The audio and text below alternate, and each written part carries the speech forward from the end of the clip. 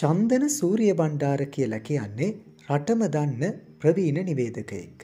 ඒ වගේම සද්දාමංගල සූරිය බණ්ඩාර කියල කියන්නේ රටම කතා කරන ටෙලිනාට්‍ය රැසකට තිර රචනයෙන් දායක වුණ දක්ෂ පිටපත් රචකයෙක්. චන්දන සූරිය බණ්ඩාර සිරස ලක්ෂපති වැඩස්ටහන ඇතුළු ජනප්‍රිය වැඩස්ටහන් රැසක නිවේදකයා විදියට කටයුතු කරන කෙනෙක්. ඊට අමතරව සිරස රූපවාහිනී නාලිකාවේ ඉහළ තනතුරු රැසක්ම චන්දන සූරිය බණ්ඩාර විසින් දරලා තියෙනවා.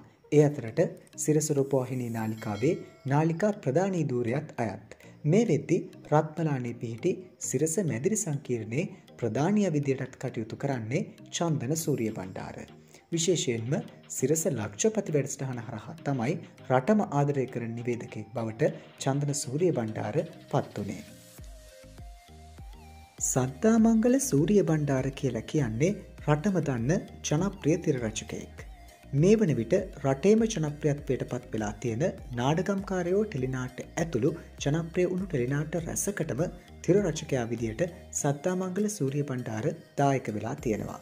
එ අතරට හාරකෝටිය කෝටිපතියෝ අග්නිපියාපත් මේ වන විට විකාශය වන පාරදිගේ කළු අරලිය මොනර කඩදාසි අමුතුරසිකයා ඇතුළු ටෙලිනාට රැසක්ම ඇතුළත්.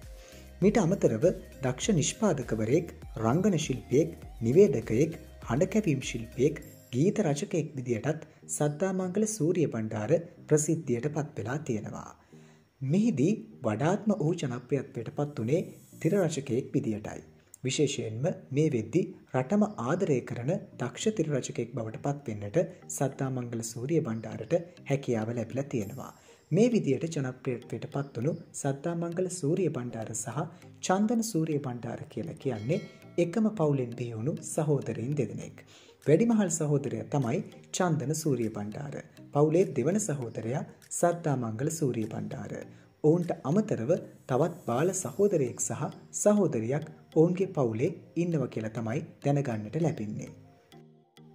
මහනුවර ප්‍රදේශයට ආසන්න ග්‍රාමිය ප්‍රදේශයකින් බිහි වෙලා මේ වෙද්දි රටම ආදරය කරන ජනප්‍රිය චරිත දෙකක් බවට පත්වෙන්න චන්දන සූරිය බණ්ඩාරට සහ සද්ධාමංගල සූරිය බණ්ඩාරට හැකියාව ලැබිලා තියෙනවා.